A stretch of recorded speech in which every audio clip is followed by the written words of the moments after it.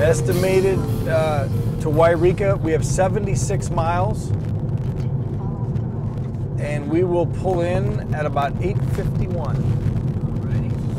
So uh, our goal was to get there with half a tank left, and it's going to be close.